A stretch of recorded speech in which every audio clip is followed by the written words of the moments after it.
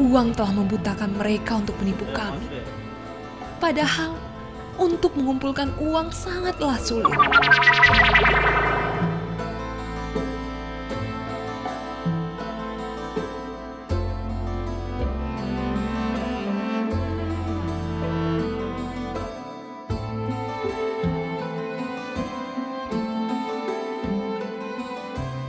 Keadaanku seolah tak mau mengerti. Tangisan hanya kusimpan dalam hati kala menyadari kenyataan yang dihadapi tiga anakku.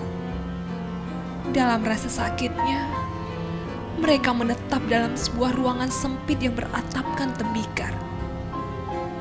Karena itu panasnya matahari dan derasnya hujan pun mereka hadapi. Tidur pun mereka hanya beralaskan tikar yang mereka buat sendiri. Hari-hari dilalui ketiganya dengan duduk tak berdaya. Sesekali aku memberi mereka pekerjaan menggulung dan menganyam daun pandan untuk dijadikan tikar.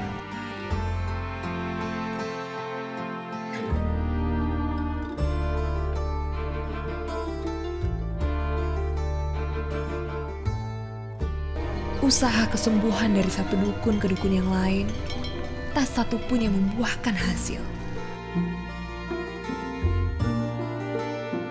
Kian hari, keadaan anak-anakku makin parah. Tak hanya kedua kaki mereka makin mengecil, tubuh mereka pun bagai tulang yang tinggal berbalut kulit.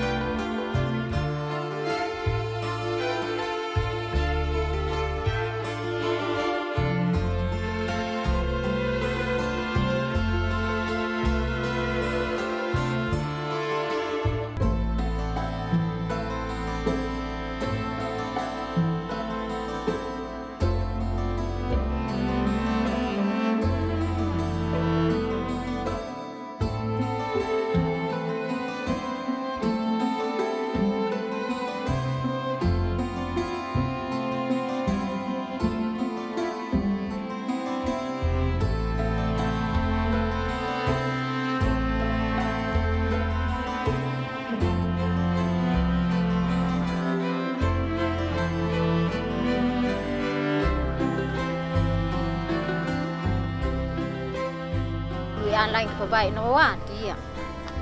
Abe dak owat no hata kemaran saya nggak nun di barak. Abe dak owat di barak. Iyo lik sabetelah terus luan lebai toa.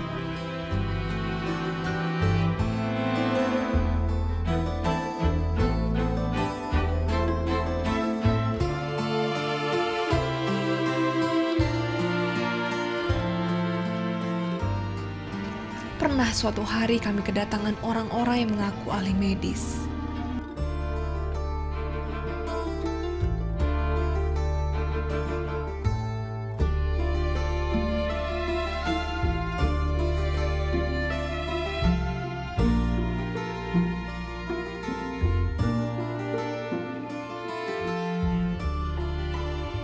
Saat itu, satu persatu anakku diberi obat.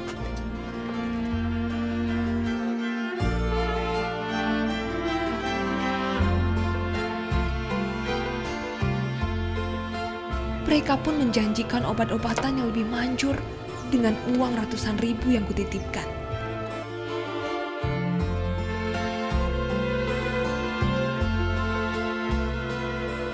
Tapi janji tinggal janji.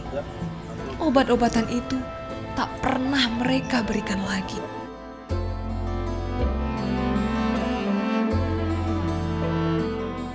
Kalau sudah begitu,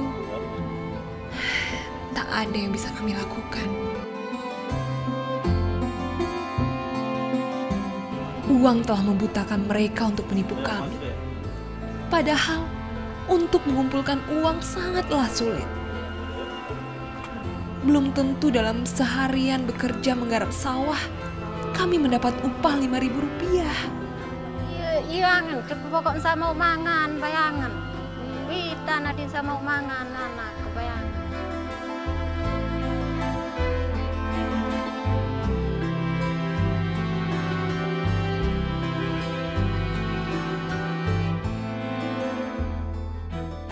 Tahun 2000, anak keenamku Manap meninggal dunia.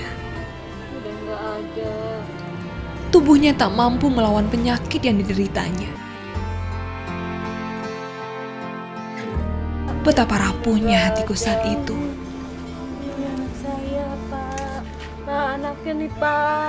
Duniaku tampak makin gelap saja.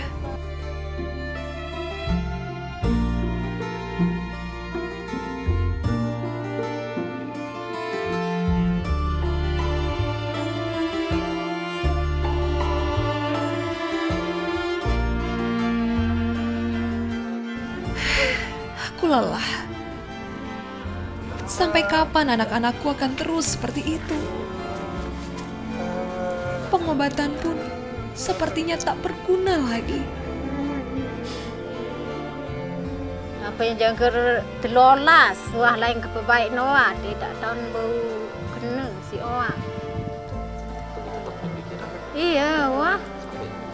Habis keluar lain kepebaik Noah dia. Habis tak owat, Noah tak kemaran. Saya nuni tebara.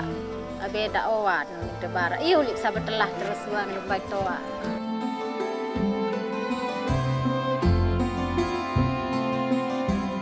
Lama-kelamaan, kesedihan itu pun terkikis. Aku mulai bisa menjalani kehidupanku seperti biasanya. Aku harus bisa menghadapi jalannya hidupku. Betapapun kerasnya.